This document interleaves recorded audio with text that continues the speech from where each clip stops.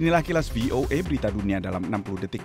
Presiden Rusia Vladimir Putin membantah telah mengirim pasukan ke Ukraina meski menyatakan Rusia bisa saja menempuh opsi militer.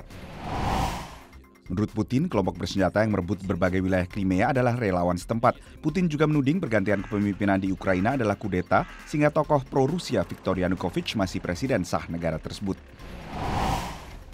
Menlu Amerika John Kerry berada di Kiev guna menegaskan dukungan Amerika bagi rakyat Ukraina. Amerika memberi bantuan 1 miliar dolar.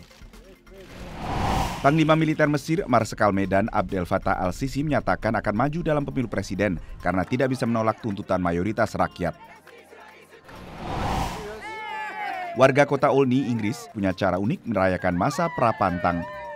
Mereka menggelar lomba lari estafet membawa pancake di atas penggorengan. Saya Nova Purwadi untuk Kilas VOA.